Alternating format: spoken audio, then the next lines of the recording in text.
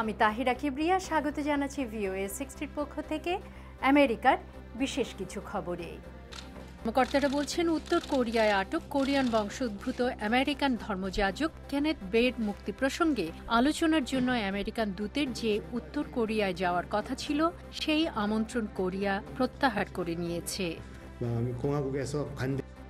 শীতকালীন তুষার ঝড়ের চার দিন পরেও পেনসিলভেনিয়া রাজ্যব্যাপী এখনও অন্তত একুশ হাজার বাড়িঘরে বিদ্যুৎ নেই। আমেরিকার পূর্বাঞ্চলে এটাই ছিল মারাত্মক ধরনের শীতকালীন ঝড়। যুক্তরাষ্ট্রে পালিত হল বিটলস সংগীত গোষ্ঠীর আমেরিকা সফরের পঞ্চাশতম বার্ষিকী। আমেরিকায় রবিবার তাদের ভক্ত অনুরাগীদের জন্য ওই দলের দুজন তারকা পল ম্যাকার্টনি এবং রিঙ্গো স্টার পুনরায় মিলিত হলেন টেলিভিশনের পর্দায়।